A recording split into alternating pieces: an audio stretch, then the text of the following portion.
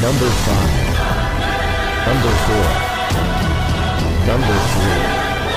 Number 2. Number 1.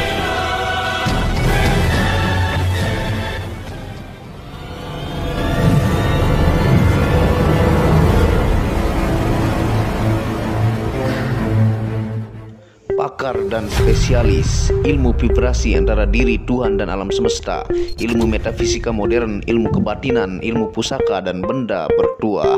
Update video terbaru dengan mengklik gratis, subscribe dan lonceng notifikasi gratis dan selamat menikmati.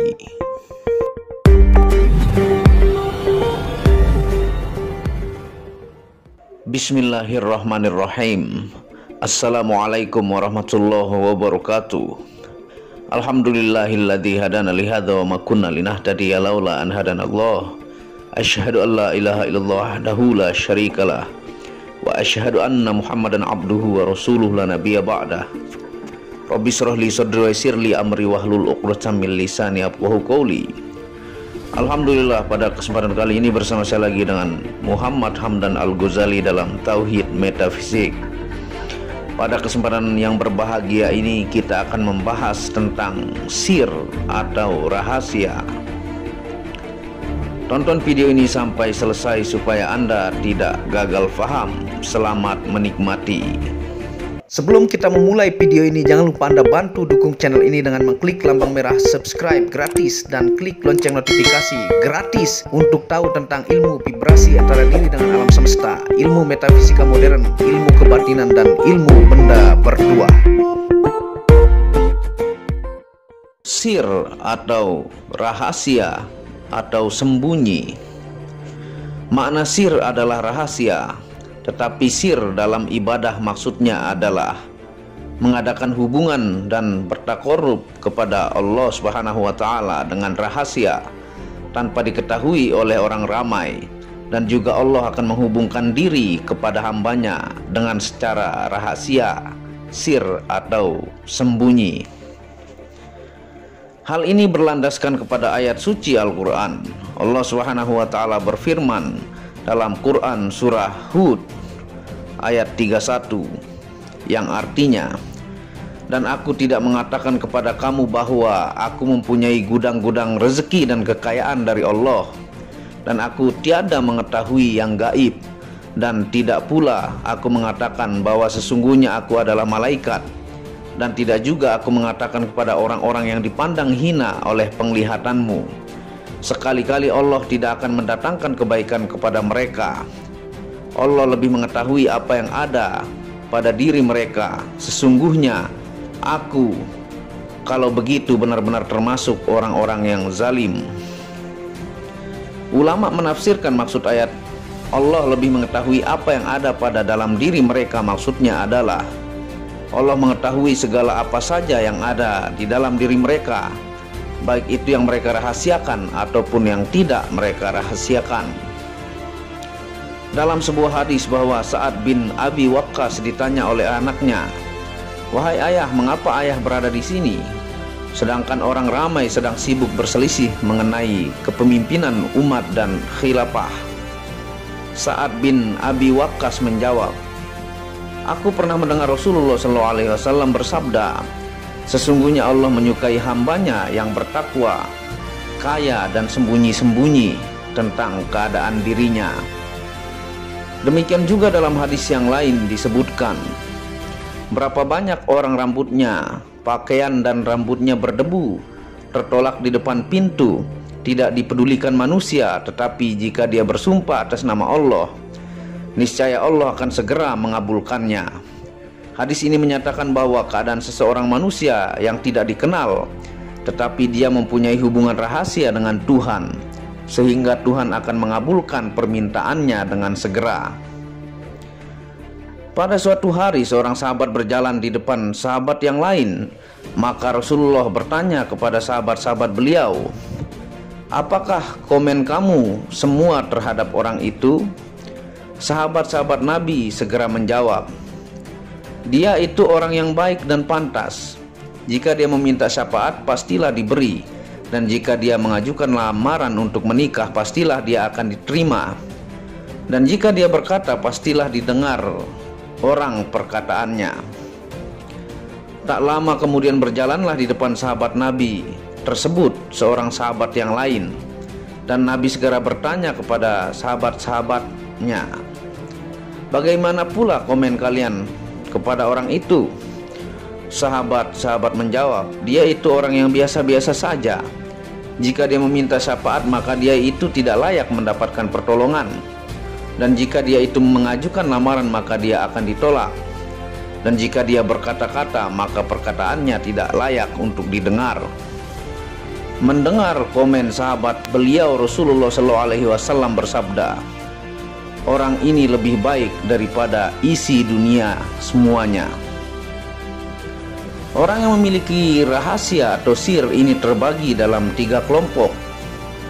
Kelompok pertama adalah golongan yang mempunyai hasrat yang tinggi, tujuan yang bersih, dengan perjalanan yang benar, tidak berhenti pada suatu bentuk dan tidak mengkaitkan kepada sesuatu nama dan mereka tidak dianggap oleh manusia. Merekalah itu simpanan-simpanan Allah. Mereka mempunyai hasrat yang tinggi maksudnya bahwa mereka tidak mempunyai keinginan dan hasrat kecuali hanya untuk Allah semata-mata. Keinginan mereka hanyalah mencari keridaan Allah Kegembiraan mereka hanyalah bersama Allah. Kecintaan mereka adalah berjumpa dengan Allah. Hasrat mereka ini tidak boleh dikotori dengan keinginan diri, keinginan nafsu, keinginan materi, keinginan dunia, sebab segala sesuatu hanyalah untuk Allah Subhanahu wa taala. Tujuan yang bersih maksudnya tujuan amal perbuatan dan ibadah mereka hanyalah Allah. Matlamat hidup hanyalah Allah Tujuan mereka hanyalah penghambaan kepada Allah, melaksanakan perintah Allah, mencari keridoan Allah. Tidak ada dalam hatinya tujuan keduniawian atau tujuan hawa nafsu. Semuanya hanya akan mengabdikan diri kepada Allah. Perjalanan yang benar maksudnya dalam melaksanakan perintah Allah, dalam beribadah kepada Allah semuanya dilaksanakan dengan cara yang benar, sesuai dengan yang dicontohkan dan diarahkan oleh Al-Quran dan oleh Sunnah Rasulullah. Perjalanan itu tidak berhenti disebabkan oleh orang ramai atau anggapan atau pandangan orang lain untuk dipuji atau dilihat atau diperhatikan. Perjalanan ibadah juga tidak dikaitkan dengan suatu nama atau sebuah grup atau kelompok sebab ibadah dilakukan karena Allah dengan mengikuti sunnah Rasul bukan karena nama-nama tertentu, kelompok tertentu, atau sebab-sebab tertentu. Tidak dikenal oleh manusia maksudnya adalah menjadi kebiasaan mereka menyembunyikan amal ibadahnya, sehingga orang lain tidak mengetahui ketekunan ibadahnya. Golongan kedua adalah golongan yang mempunyai kalimat-kalimat yang diucapkan dengan pemahaman yang berkaitan dengan Allah, sedangkan manusia akan memahami dengan pemahaman yang berlainan dengan pemahaman orang tersebut. Contohnya adalah jika mereka berkata, "Aku adalah kaya." Maksudnya bahwa kaya itu adalah kaya dengan Allah, cukup dengan Allah. Sedangkan orang lain memahami makna kaya itu adalah kekayaan dunia. Orang ini akan selalu menjaga adab-adab seperti tawadu dan menjaga maruah sehingga mereka terpelihara daripada sangkaan orang ramai. Jika mereka bersama orang ramai, maka dia akan memakai bahasa orang ramai tanpa memperlihatkan kelebihannya daripada orang ramai.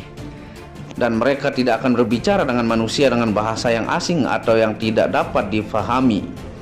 Orang menyangka mereka manusia biasa, walaupun sebenarnya mereka manusia yang lebih daripada biasa. Dalam hadis diriwayatkan oleh Imam Ahmad bahwasanya Nabi Isa berkata kepada pengikutnya, Apabila kamu sedang berpuasa maka beri minyaklah rambutmu dan sapulah basahkanlah kedua bibirmu sehingga jika engkau keluar kepada orang ramai nanti orang akan berkata bahwasanya dia itu tidak berpuasa. Kelompok yang ketiga adalah kelompok yang sibuk beribadah kepada Allah, sibuk berbuat baik kepada orang lain, tetapi Allah menyembunyikan amal ibadahnya dan kebaikannya. Sehingga tidak ada manusia yang nampak kebaikannya.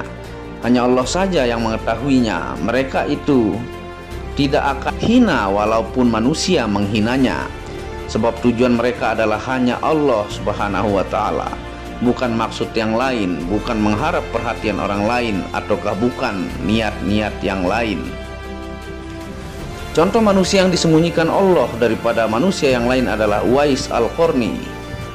Pada suatu hari Rasulullah SAW bersabda kepada Umar bin Khattab dan Ali bin Abi Thalib, Wahai Umar dan Ali, pada suatu hari nanti apabila kamu berjumpa dengan orang yang bernama Uwais Al-Qarni, maka mintalah agar dia mendoakan agar kamu mendapat ampunan Allah.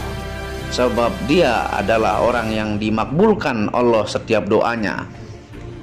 Wahai Umar dan Ali, Uwais Al-Qarni itu mempunyai rambut yang merah, jauh jarak antara kedua bahunya, sederhana tingginya, berkulit hitam campur putih, senantiasa merapatkan dagunya ke dadanya, selalu menunduk. Tangan kanannya diletakkan di atas tangan kirinya. Senantiasa membaca Al-Quran, dia mempunyai kain buruk daripada bulu. Dia tidak dikenal oleh manusia di muka bumi, tetapi terkenal di atas langit. Selama 10 tahun Umar dan Ali mencari orang yang disifatkan oleh Rasulullah sehingga pada suatu musim haji datanglah kabilah dari Yaman Ali bertanya kepada ketua kabilah, "Apakah tidak ada lagi orang dalam kabilah tuan?" Kabilah berkata, "Ada seorang pemuda yang tidak dikenal, penggembala kambing. Pakaiannya buruk, dia kami beri upah satu dirham." Ali bertanya, "Apakah orang itu mempunyai sifat-sifat mempunyai rambut pirang, selalu menundukkan kepala?" dan ketua kabilah membenarkan segala sifat tersebut. Ali dan Umar segera bertanya di mana pemuda tersebut dan mereka berlomba untuk mendapatkannya. Sampai mereka di Jabal Kubais terlihat seorang pemuda pengembala kambing. Ali dan Umar segera memberi salam. Dan setelah salam itu dijawab oleh pemuda, Ali dan Umar bertanya, "Siapakah tuan ini?" Pemuda menjawab, "Saya adalah penggembala dengan menerima upah." Umar tanya lagi, "Siapakah nama Anda?" Pemuda menjawab, "Saya adalah hamba Allah." Umar menjawab, "Kami tahu di bumi ini semua hamba Allah, tetapi siapakah nama Tuhan?" Pemuda menjawab, "Apakah maksud Tuhan menanyakan nama saya?" Akhirnya Ali dan Umar menceritakan hadis Rasulullah dan sifat-sifat ini ada pada diri Tuhan. Ali dan Umar segera memintakan doa kepada pemuda itu saya tidak pernah menghususkan doa kepada seseorang, saya hanya mendoakan untuk seluruh kaum muslimin dan muslimat. Pemuda itu bertanya, "Siapakah Anda berdua?" Ali menjawab, "Ini adalah Umar, Amirul Mukminin dan saya adalah Ali." Mendengar itu, pemuda tadi memberi salam kepada Amirul Mukminin dan Ali. Umar berkata, "Wahai Uwais, ajarilah kami Uwais." Uwais menjawab, "Tuntutlah rahmat Allah ketika melaksanakan ketaatan kepadanya." dan berharaplah Tuhan di celah-celah amal tersebut. Ali berkata, "Wahai Uwais, Rasulullah pernah bersabda, Uwais adalah semulia-mulia tabi'in. Maka bagaimanakah engkau dapat menggembirakan Nabi?" Uwais menjawab, "Wahai Ali, Tuhan telah beroleh nikmat bersahabat dengan Nabi. Tuhan bahagia dapat melihat Nabi, sedangkan saya hanya melihat Nabi dengan mata hati." Nabi adalah cahaya yang memancar memenuhi alam dan menjalar kepada sekalian yang ada. Saya lihat Rasulullah kepalanya sampai ke ars dan kakinya di bawah bumi yang ketujuh. Khalifah Umar bertanya, Bagaimana keadaan engkau wahai Uwais? Uwais menjawab, Bagaimana seorang laki-laki ketiga pada pagi hari dia mengira tidak akan sampai pada petang hari dan jika hari petang maka dia mengira tidak sampai pada pagi hari. Umar bertanya lagi, bagaimana engkau dapat mencapai kedudukan yang mulia sebagaimana disebutkan oleh Rasulullah SAW? Wais menjawab, saya hidup dengan takut kepada Allah. Dan jika seseorang sudah takut kepada Tuhan, maka dia akan takut berbuat dosa sekecil apa pun juga. Umar memberikan pakaian dan belanja kepada Uwais, tapi Uwais menolak dan berkata, apa gunanya pakaian dan benda ini buat saya? Bukankah Tuhan melihat pakaian saya dari bulu? Apakah dia akan habis? Pekerjaan saya mengembala kambing dengan upah 4 dirham. Coba Tuhan kira berapa lama saya memakan uang yang 4 dirham itu, sedangkan di depan saya dan di depan Tuhan banyak rintangan yang sukar untuk dilalui. Oleh sebab itu, wahai Umar, tinggalkanlah dunia ini. Takutlah akan suatu hari di mana tidak berguna harta dan anak. Uwais akan pergi. Ali memegang tangannya dan berkata, "Kami datang hendak berbicara dengan Tuhan. Mengapa Tuhan pergi?" Uwais menjawab, "Aneh sekali Tuan Ali. Saya kira tidak seorang pun yang mengenal Tuhannya akan merasa senang dan tentram dengan selain daripada Tuhannya." Setelah berkata demikian, dia berlari dengan kencang meninggalkan Ali dan Umar. Demikianlah contoh manusia yang mendapatkan sir atau rahasia Wais Al-Qarni yang lebih senang mendengarkan kalam Tuhan daripada ucapan manusia dan selalu berusaha menghubungkan dengan Tuhan secara bersendirian, sembunyi-sembunyi sehingga manusia tidak mengenalnya. Tetapi Allah Subhanahu wa taala mengenalnya dan terkenal di ars langit. Wallahu alamu bisawaf.